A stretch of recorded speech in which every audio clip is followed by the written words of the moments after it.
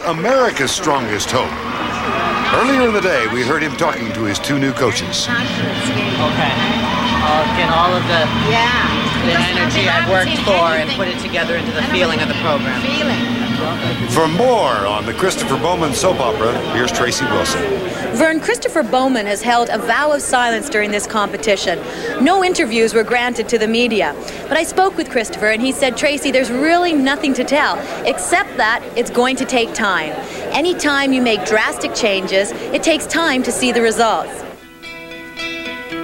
At last year's World Figure Skating Championships, Christopher Bowman was once again the showman. But the focus of his theatrics centered not around his bronze medal performance. Instead, attention centered around his rocky 18 year relationship with coach Frank Carroll. It was an image that troubled Christopher, an image that needed to change. I thought maybe. Well, I mean, you were like right here, and you know, I'm thinking that we had time. Okay. I don't understand. Yeah, I'd love to have a drink. I haven't even had dinner. Help me. Where are you going? Are you coming downstairs? I'm a prisoner. Oh, you can't. Prisoner in your own mind. I wouldn't say he's out of control, but I think he's near being out of control. And, uh, you know, I try to do what I can, but sometimes I'm very frustrated. Do you think you drive Frank crazy? Yeah, I, th- I, I think I do. I, I think I do drive. I, I think I, I drive a lot of people crazy with, I think, my attitude. And, and some people, I think, enjoy it, and some people don't. I mean, it's very mixed. That's why it's kind of controversial. I would like it to be, you know, Christopher Bowman, you know, uh, the world champion, the Olympic champion, and do everything that it takes to get there. But the same, at the same time, I don't want it to be where you know I'm I'm held back as a person. Six months later, the situation worsened at the Goodwill Games in Seattle.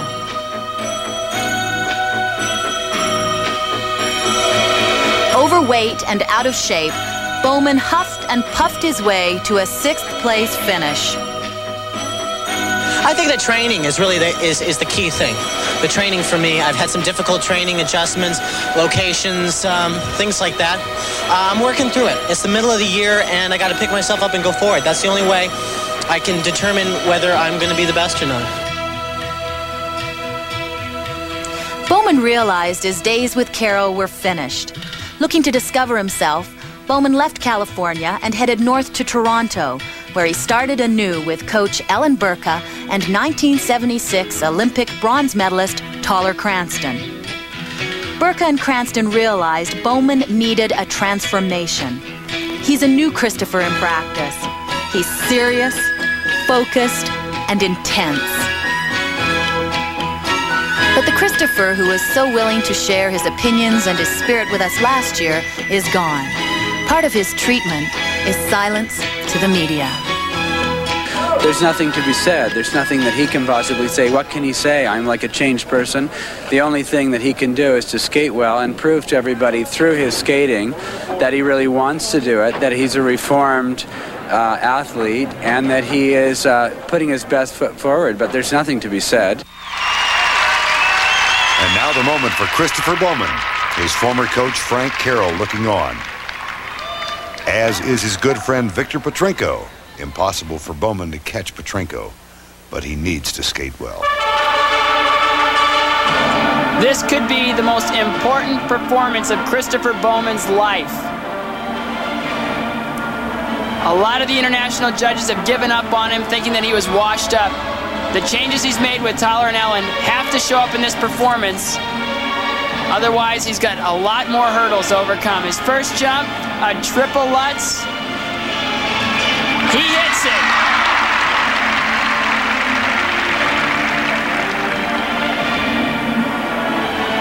Normally he'd do a triple axel here, but he hasn't been working the triple axel. He wants to skate clean, but he'll need that triple axel if he wants to be competitive with Petrenko and Browning.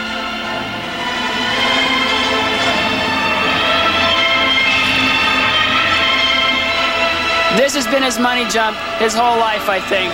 Triple flip. Beautifully landed the double toe loop.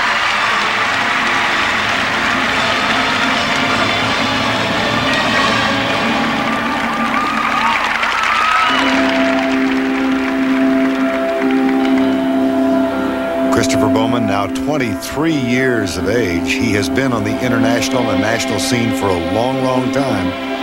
How tough for him to make these changes, Scott? I don't think it's that tough. I think the, the hardest part for him is going to be to prove that every decision he made was the right one.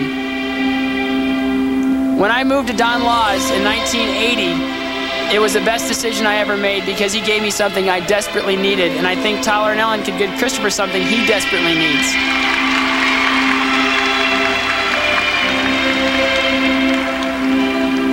Which is what? Discipline? Discipline, uh, renewed interest, uh, a brand new excitement about what he's doing. When you're on the scene a long time, and he was with Frank for 18 years, things get boring day to day. Beautiful triple loop. I don't think I've ever seen Christopher this focused on the ice.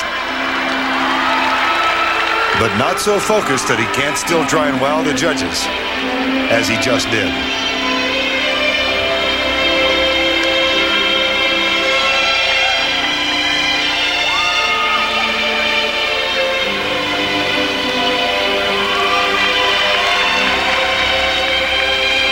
Triple toe loop.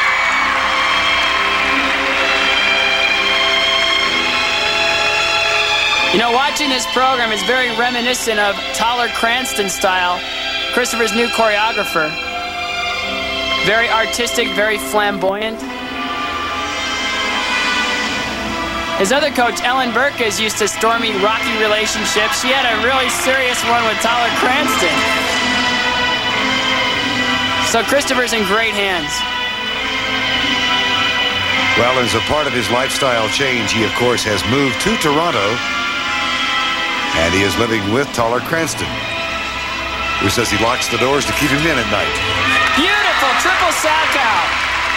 Look at the confidence he's skating with. It's like he's not even doubting anything. This is not the same Christopher Bowman that was at the Goodwill games.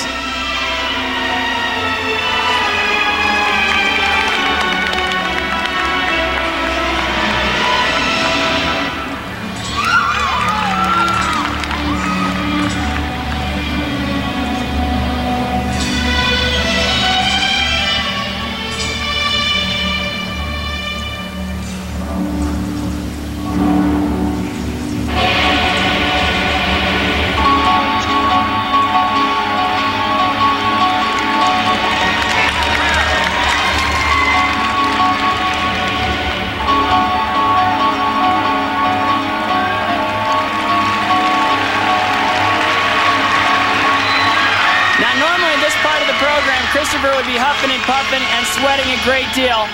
But he's got a triple flip plan, four minutes and 18 seconds into the program, and he does it in combination.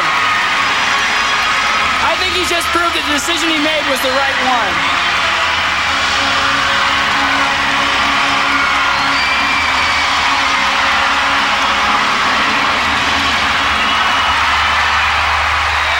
And nobody's happier to see it than Frank Carroll. That's really nice to see. The relationship, though stormy, remains friendly between the two. And Toller Cranston, Ellen Burka, and the new Christopher Bowman. Petrenko seems to approve. They're close friends. We'll be back with Christopher Bowman's scores after this message. Here's another look at the jump that Christopher Bowman used to open his program at Triple Lutz. Now notice he'll be tilted a little bit to the right, but that's okay. If you're going to tilt the jump, tilt it to the right because that's the foot you're going to land on, and it makes it a lot easier to land if you're tilted that way. This jump will be a triple axel at the Olympics, otherwise he won't be competitive. Victor Petrenko did two triple axels. Bowman's going to need at least one to be competitive. Now those agonizing few moments while Christopher Bowman waits for the judges' marks. And here they are, the marks for technical merit. Well, this will tell a lot. I don't think after a performance like that he's really concerned with the marks, but he got a 5-8, some 5'7", a 5-4 from the Swiss judge. So maybe the Swiss judge isn't convinced that the change has been made. But still, a great performance, and he had a lot to prove, and he did it. Uh, what about the marks for artistic impression? Well, these are a lot better. Two five nines, five five eights, but the Swiss judge and the British judge five six five five. I don't think they're convinced yet.